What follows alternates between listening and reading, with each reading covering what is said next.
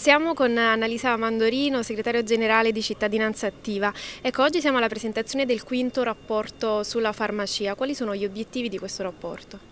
Intanto siamo molto contenti proprio perché siamo arrivati alla quinta edizione del rapporto, quindi il rapporto il contatto, il collegamento eh, tra i farmacisti e i cittadini anche attraverso questo rapporto viene seguito anno per anno e si nota come anno per anno c'è un'evoluzione in uh, questo rapporto che è sempre stato un rapporto di fiducia, di prossimità, ma che nel periodo del Covid è diventato ancora più prossimo, ancora più necessario. Perciò anno dopo anno noi ci focalizziamo sui punti principali che possono riguardare la collaborazione tra farmacisti e cittadini, sicuramente sulla dispensazione del farmaco consapevole, eh, sull'utilizzo sempre più diffuso dei farmaci equivalenti, su campagne di prevenzione che ormai nel rapporto di quest'anno eh, viene fotografato con chiarezza si eh, hanno in un terzo delle farmacie italiane, in generale nel ruolo della farmacia come farmacia dei servizi, quindi come presidio sanitario di prossimità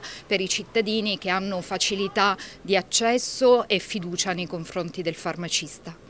Perché è importante che cittadini e farmacisti continuino questo percorso comune? Perché attraverso il nostro rapporto abbiamo fotografato come il loro sia un rapporto in evoluzione e quando abbiamo cominciato avevamo anche il dubbio se poter chiamare questo uh, rapporto rapporto sulla farmacia come presidio sanitario e invece questa ormai è diventata un'ovvietà. Abbiamo ragionato sulla possibilità di fare il vaccino in farmacia durante il periodo della pandemia e anche questa poi è diventata una, una modalità ordinaria. Abbiamo ragionato ragionato sul ruolo delle farmacie rurali e nel PNRR è stato riconosciuto questo ruolo, sono state stanziate delle risorse, quindi noi pensiamo che questo rapporto sia un, un puntello che anno dopo anno mettiamo al, alla relazione positiva che si è instaurata tra farmacisti e cittadini e che speriamo continui e, pos continui e possa crescere.